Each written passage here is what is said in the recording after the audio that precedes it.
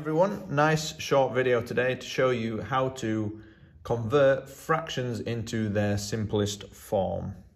So this method, it will allow you to change any fraction into its simplest form.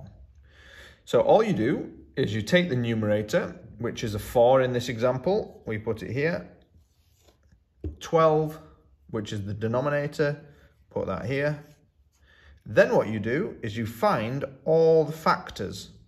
So 4 is in the 1 times table. 4 is in the 2 times table.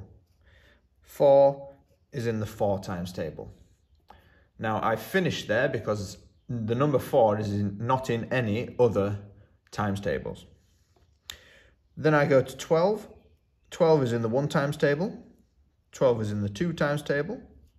12 is in the 3 times table, 12 is in the 4 times table, 12 is in the 6, and the 12 times table. So now I have all the factors for 4 and I have all the factors for 12. Now I must find the um, highest common factor.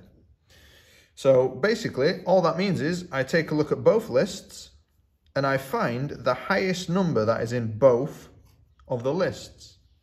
So in both lists, the highest number is 4. So the high, highest common factor is 4.